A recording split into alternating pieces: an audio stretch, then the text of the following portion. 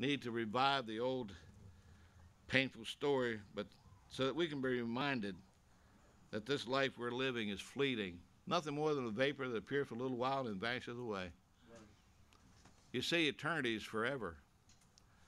We're marking time here, but may I encourage you to live for the Lord while you have the opportunity.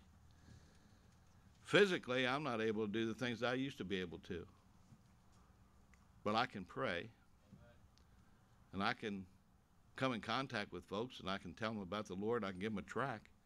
I can do something like that. Uh, I know a fellow was bedridden for years. I pastored him for uh, probably seven years or so. He was never able to make it to churches, confined to his home on oxygen. Uh, he couldn't breathe. He'd smoked for so many years, and, and now it's taking its toll on his body. I preached his funeral. Well, you know what he did every day? He got on the phone, and all day he'd call folks that were shut in, or he'd call people he knew and tell them about the Lord. What a ministry. Several folks came to know the Lord as Savior because of that ministry. Now, we need to remember Lot's wife.